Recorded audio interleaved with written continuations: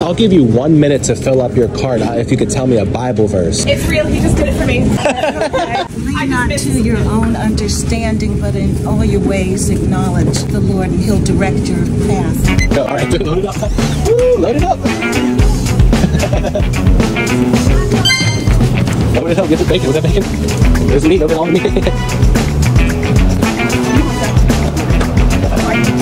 still have some time. Don't worry. There's a chance. 35, 34. Load it up with that chicken. Get it. Put it in there. Don't, don't be looking. Put it in. get it. Get it. Throw some more in there. There's turkey. You have turkey for Thanksgiving? 20, 19. Load it up. It's like sausage. 17, 16, 15, 14.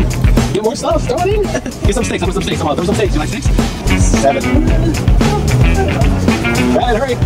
Two, one.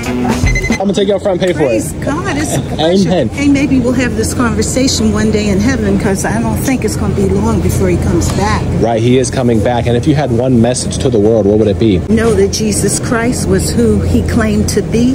He was the Son of God, and He came to redeem us back from Satan, out of all the evil, uh, from the sin, from the fall. Bless you. Are you an angel in disguise? That's another verse. Be careful to entertain strangers, for some have entertained angels. Angels unaware. That's in Hebrews. Yeah, I'm a man. I'm a flesh and blood, but but you never know what You in never, life. but I mean, it's just me. I'm sorry. Right. No, you're okay. restarted. No, it- no. Don't mind praising. It's good to be excited about the Lord. Oh my goodness, yeah. And you're so young. God bless you. Amen. You have a good one. God bless you. Bye. take care. See ya.